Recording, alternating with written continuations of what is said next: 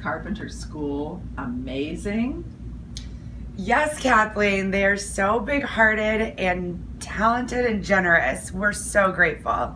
We want to thank each and every one who worked on the project to raise funds for the people of Ethiopia. This was a project that Carpenter School helped that man may see and we're the fundraising arm at the University of California, San Francisco Department of Ophthalmology.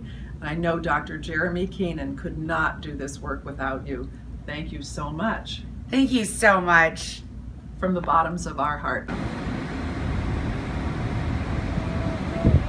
Uh, hello. Coming to you from the University of California, San Francisco.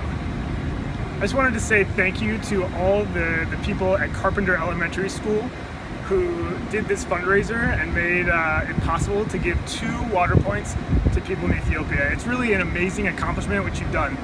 You started off trying to raise money for a single water point and now you're going to provide water for two villages. Uh, I'm, I'm, really impressed with your, your effort uh, and dedication to this cause. Um, I want you to know that we're going to be putting in the wells starting next week and they should all be done by the last week of June. Uh, and this is going to be really helpful because this part of Ethiopia is going through one of the worst droughts they've seen in a generation.